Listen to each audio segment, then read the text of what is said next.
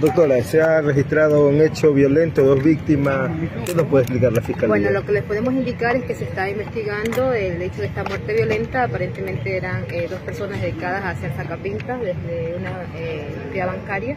Eh, parece que habrían estado siguiendo a otra persona y resultó un enfrentamiento. bueno, no un enfrentamiento, sino que resultaron acribillados. Es lo que se ha podido determinar en primera instancia, se está investigando.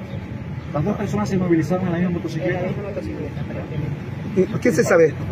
No tienen parentesco familiar, eh, tiene uno incluso era requerido por la justicia, tenía una orden de, de prisión preventiva de uno de los fallecidos, estaba con una orden, eh, está verificada actualmente, se está verificando los antecedentes penales y a qué se dedica.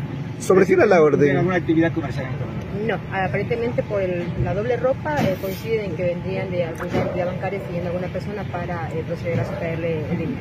Señora fiscal, ¿pero habrían cometido el hecho o no estaban a punto de Hasta ahora estamos investigando por el tema de que se está verificando qué fue exactamente lo que pasó, pero por el tema de la doble vestimenta y de que se nos ha indicado que venían desde el centro de una entidad bancaria se está verificando. Señora fiscal, se encontró un arma de fuego en ese. Así es, se encontró un arma de fuego, es decir, que estas personas andaban armadas también, entonces eh, habría que determinar quiénes eran las víctimas de este tema de que los querían robar y también pues determinar qué fue lo que ocurrió en este sector. Fiscal, este, hay cámaras, eh, ¿qué se puede se conocer? Está trabajando en aquello, se está recogiendo todos los indicios, todos los elementos para poder determinar eh, si las víctimas lograron, eh, en este caso, robarle a alguna persona o qué fue lo que pasó eh, al momento que se dieron los hechos.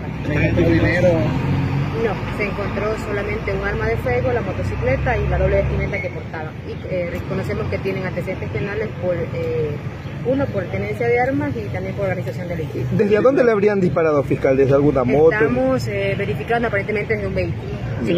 ¿Pero sí es confirmado que las personas que ellos iban a asaltar fueron quienes dispararon? No, no está confirmado. No sabemos de dónde hubo eh, el tema de los disparos, es lo que se está verificando. ¿Están identificadas las víctimas? Eh, no, estamos en, en, ese proceso. En este caso hablamos de víctimas, los fallecidos, que en este caso también vendrían a ser las personas que iban a cometer un delito contra la propiedad. Pero lastimosamente eh, alguna persona les respondió y pasó lo que pasó. No resultaron personas heridas. Hay otras personas colindantes.